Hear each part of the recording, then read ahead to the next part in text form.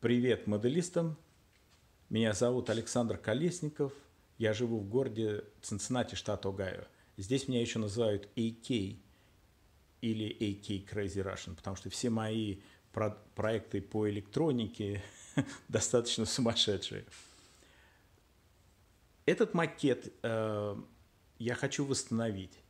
Ну, до определенного момента, по крайней мере, либо его оставить, либо его и делать эксперименты, потому что я строю сейчас свой макет, вы уже можете посмотреть на предыдущие. Немножко затормозилось, но сами понимаете почему. Но это очень интересная история и поучительная. То есть эм, я подключился на этот макет в 2010 году, 10 лет назад. То есть как эти, такие макеты делаются? Обычно э, внуки приходят к дедушке и говорят, дедушка, давай поиграем в чучу сделаем чучу, макет. Но он тоже, наверное, хотел делать это э, в юности. Да, это точно.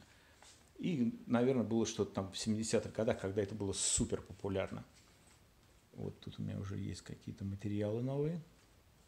Сейчас я вам покажу. Выглядит, конечно, немножко стрёмно. Так я оставил его. А, сейчас я уже начал снимать эту дорогу, потому что у него не очень получилось. То есть человек хотел что-то сделать, но, честно, опыта хорошего, наверное, нет. Ну, и это достаточно сложно. То есть две секции между ними, когда я первый раз увидел его, была речка. Речка была ну, сделана из десятибальной шкалы на пятерочку. То есть с какой-то доработкой можно было то есть я, то, что я и сделал. Есть поворотный круг, депо, то есть я положил этот рельсы, подложку и прочее, сделал балласт, немножко сделал этот scenery, сделал подложку для железной дороги, пардон, для обыкновенной дороги, и все, на этом наше э, совместное творчество прекратилось. И где-то Четыре года назад он мне позвонил, сказал, слушай, дети уже не интересуются, в смысле, эти внуки совсем не интересуются ничем, и, и мы переезжаем из, из Канда, да, я хочу его продать. В смысле, забери его, если сможешь, продай. Я ему сразу сказал, что продавать это нереально. Здесь под макетник и прочее, это мы с Робом еле-еле э, забрали его, э, при, привезли мне в гараж. И Сейчас я занимаюсь своим макетом, из-за этого мне нужно место в гараже гораздо больше. Это уже не какой-то склад. Обычно в американских э, гаражах у половины семей это склад, когда есть дети. Там всякие велосипеды и прочее.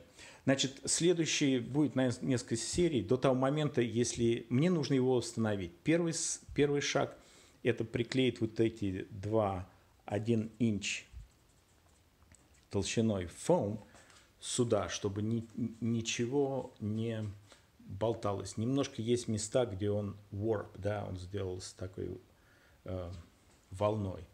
Но когда это все приклеится, прикле, приклеится, как вот этот вот, этот стоит четко. Вот я сделал горы, но а, окончание, ну, с, как этот мужчина стал заканчивать, конечно, нужно это все переделать. Вот такая история. У меня отдельная история есть про это, я вам в следующий раз постараюсь, напишите, напомните, все это дело рассказать. Поставлю DCC, восстановлю все до того, чтобы можно были, было работать. Насчет стрелок не знаю, там сорваки раньше стояли.